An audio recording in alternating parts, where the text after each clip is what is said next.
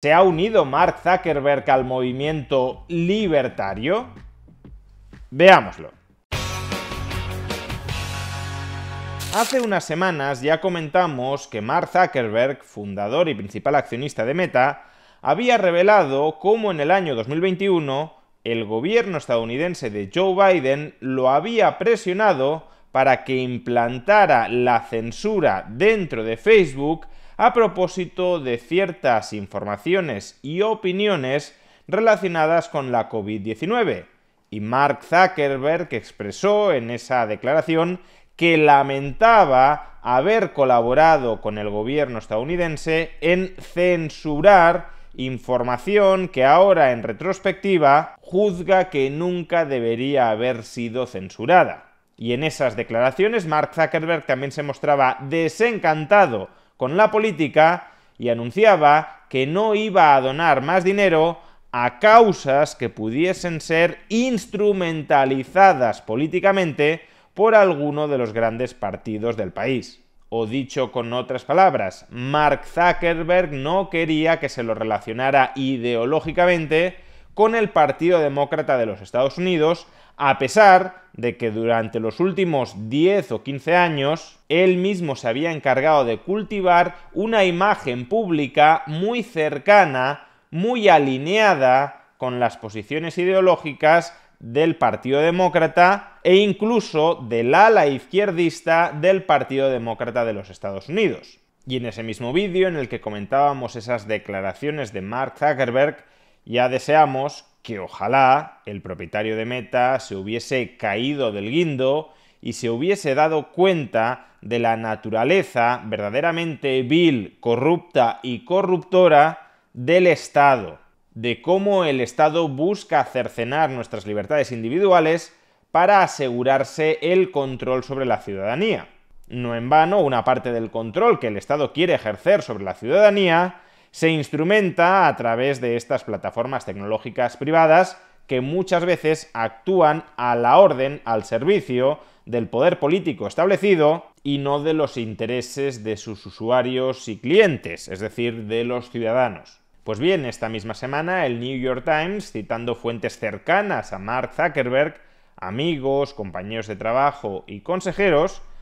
asegura que el dueño de Meta después de una década promoviendo causas típicamente vinculadas con la izquierda, ha terminado asqueado de la política y que ahora se identifica ideológicamente a sí mismo como libertario. Concretamente, el New York Times ha publicado lo siguiente. En privado, Zuckerberg considera ahora que su postura política personal se acerca más al libertarismo o al liberalismo clásico, según personas que han hablado hace poco con él. Esto incluye una animadversión hacia toda regulación que limite a las empresas, una aceptación de los mercados libres y de la globalización, y una postura favorable hacia reformas de justicia social siempre y cuando no se acerquen a lo que él considera progresismo de extrema izquierda. Es decir, y según están describiendo en este párrafo, una persona partidaria de la libertad económica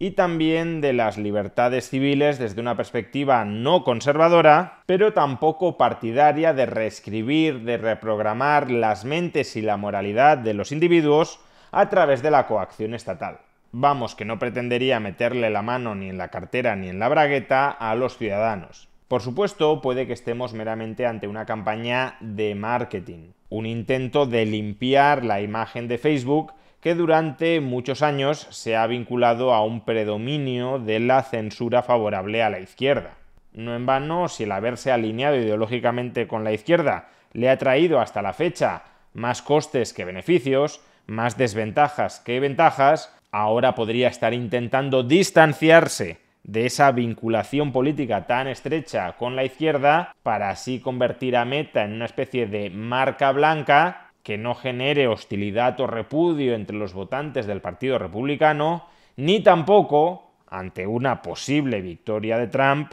no genere un ataque contra la propia compañía por parte de un gobierno republicano. De hecho, en el propio artículo del New York Times podemos leer lo siguiente. En conversaciones que ha mantenido Zuckerberg durante los últimos años con amigos, colegas y asesores, ha expresado su cinismo respecto a la política después de años de malas experiencias en Washington. Él y otros directivos de Meta, la empresa matriz de Facebook, creen que ambos partidos detestan la tecnología y que tratar de seguir implicándose en causas políticas solo va a atraer más escrutinio estatal sobre su empresa. En junio de este mismo año, durante la conferencia de Allen Company, Zuckerberg se quejó ante varias personas acerca de las consecuencias negativas que habían tenido para Meta algunas de sus donaciones filantrópicas de carácter más político. Y a su vez también lamentaba haber contratado a trabajadores en sus actividades filantrópicas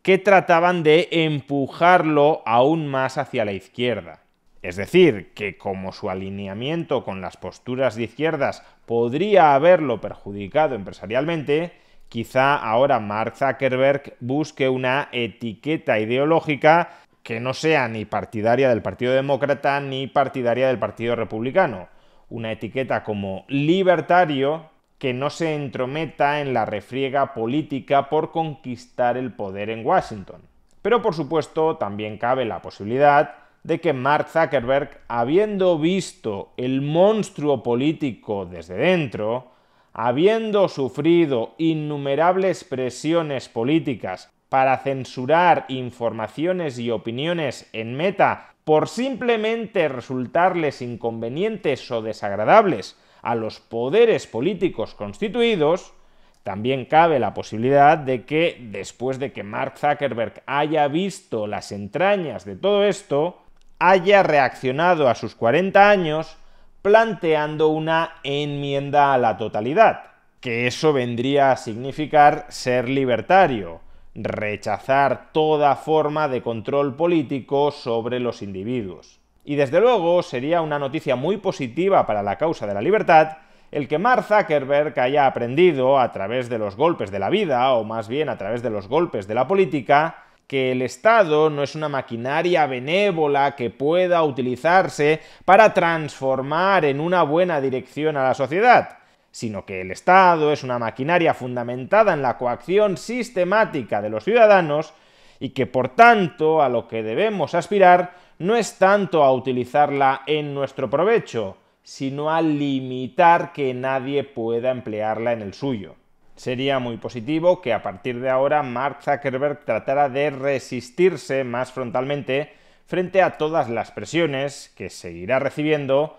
para controlar la libertad de expresión dentro de Meta. Porque si las empresas que proporcionan la infraestructura para que los usuarios se puedan expresar libremente no colaboran activamente con los gobiernos para censurar determinados mensajes ideológicos dentro de esas plataformas, entonces, no es que los gobiernos vayan a perder ni mucho menos la batalla, pero desde luego sí lo tendrán más complicado para imponer su adoctrinamiento desde estas redes sociales. Así que ojalá sea cierto lo que ha publicado el New York Times y podamos decirle a Mark Zuckerberg, bienvenido por fin al liberalismo.